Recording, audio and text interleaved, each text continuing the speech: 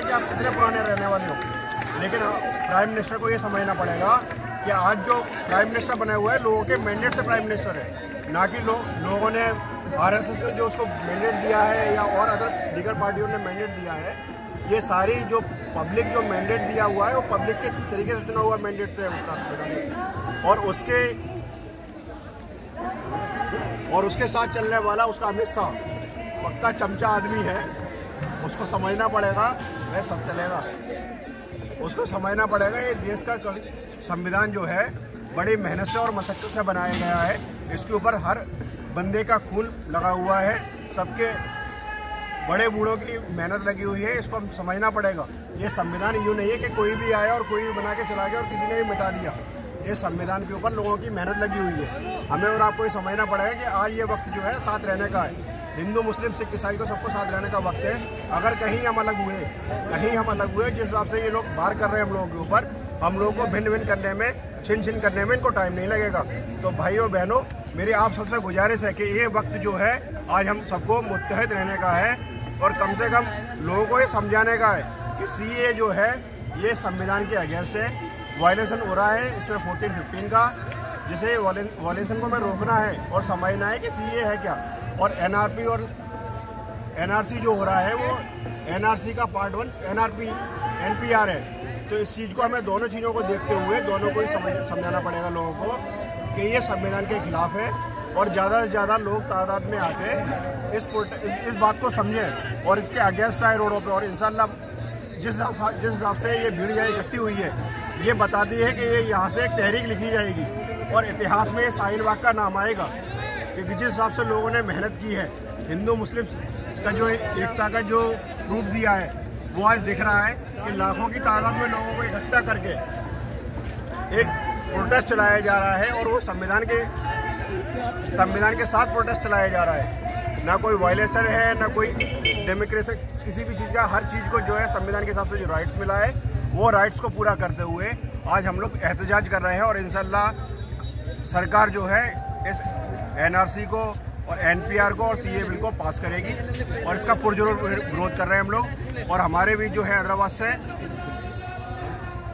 हमारे बीच हैदराबाद से साबाज अहमद खान साहब आए हैं और इनका इस सरजमी पे तह दिल से शुक्रिया अदा करते हैं और वो अपनी बात रखेंगे।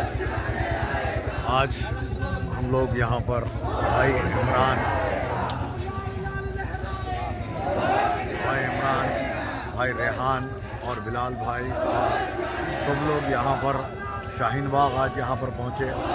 और यहाँ के हालात ये बता रहे हैं कि यहाँ पर हरियाणा से, पंजाब से, दूसरी कई रियासतों से लोग आकर आज शाहीन बाग के इस प्रोटेस्ट को ज्वाइन कर रहे हैं। और यहाँ पर दिल्ली जो हिंदुस्तान का दिल है, वहाँ की माएँ और बहनें दिन रात यहाँ पर खाना पका रही हैं, यहीं सो रही हैं, यहीं प्रोटेस्ट कर रही हैं। उसके बावजूद नरेंद्र मोदी की तरफ़ से इस बिल को वापस लेने की अभी तक कोई कार्रवाई नहीं की गई। बावजूद इसके कि ये पुरमन प्रोटेस्ट किया जा रहा है, यहाँ पर फायरिंग का वाक़ करवाने में भारतीय जनता पार्टी के लोग मुलवस पाए गए और इन लोगों को आतंक फैलाकर इस प्रोटेस्ट को ख़त्म करने की कोशिश की जा रही है। मैं हिंदुस्तान भर के तमाम दलित भाइयों से और तमाम सेकुलर कुतों से मुतालबा करता हूँ कि वो आकर शाहीन बाग के इस प्रोटेस्ट को मुस्तकम बनाएँ और हिंदुस्तान की तमाम रियासतों में इस तरह के शाहीन बाग को बनाकर एनआरसी और इस तरह के कानून जो हिंदुस्तान के संविधान का विनाश कर रहे हैं, ऐसे कानूनों के खिलाफ जो है हमें रोडों पर उतरना चाहिए। आज हम दिल्ली के जो शाहीन बाग के इलाके में मौजूद हैं मैं शुक्रगुजार हूँ कि हमारे हैदराबाद से आए हुए शहबाज अहमद खान का, जिन्होंने हमें हौसला अफजाई दी, जो यहाँ के लोग, जो यहाँ के लोगों के दुख को देखते हुए यहाँ के लोगों से बात करी। जैसे कि पंजाब से, हरियाणा से और दिल्ली के कई कोनों से लोग आए हुए हैं तो यहाँ के लोगों की परेशानी को देख रहे हैं कि मगर फिर भी जो हमारे प्रधानमंत्री है, ये बिल्कुल भी ये झुकने को राज़ी नहीं है। क्या कहते हैं यहाँ की औरतों के बारे में सोचे? ये जो सी है एन आर सी है एन पी आर जो कानून लाए है हम चाहते हैं कि इसे वापसी लें ये काला कानून है और इन हमें कामयाबी मिलेगी क्योंकि हिंदू मुस्लिम सिख ईसाई आपस में मिल के इसका विरोध कर रहे हैं। बहुत जल्द इनको हमारे गृह मंत्री और प्रधानमंत्री को घुटने टेकना पड़े इनकलाब जिंदाबाद। जिंदाबाद।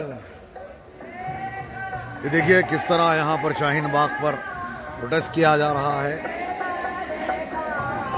ये डिटेंशन कैंप यहाँ पर बनाया गया है।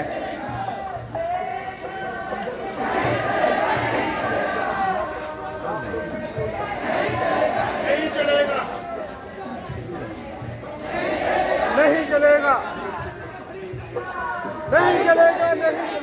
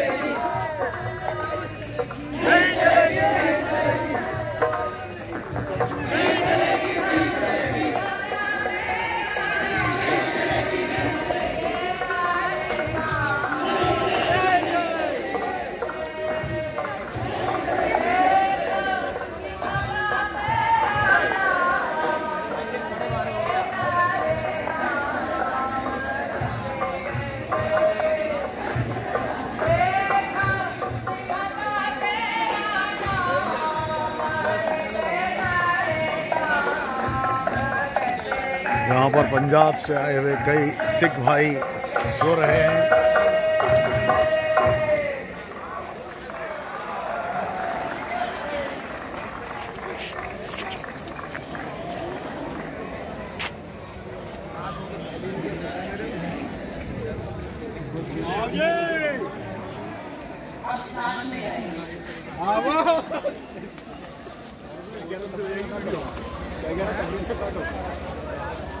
मोरा जीवन ले है रामा